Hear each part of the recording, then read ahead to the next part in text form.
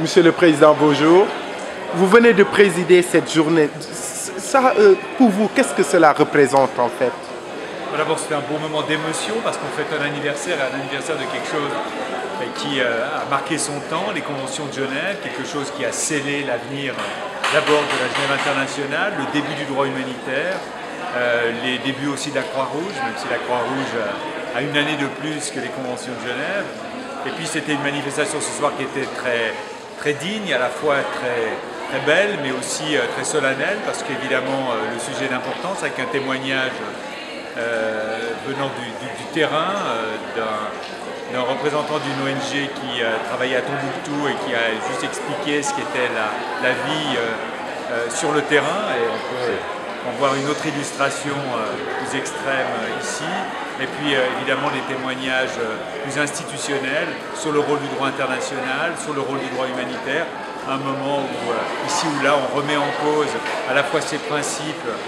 tant juridiques qu'humains et je pense que c'était un bon moment et une nécessité aujourd'hui de, sceller cet anniversaire. Donc on a dit cette génération, après donc la création de la Croix-Rouge,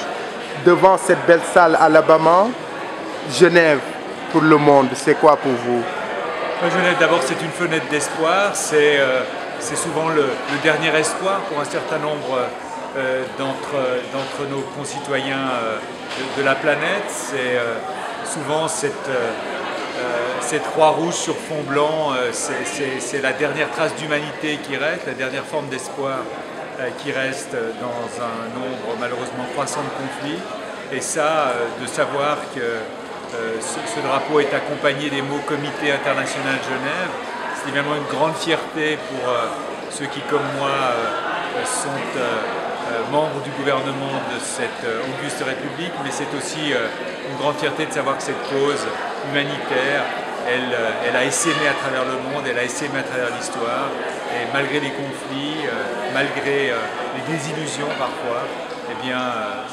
cette institution reste, demeure est bien vive et, est indispensable à l'équilibre de notre planète.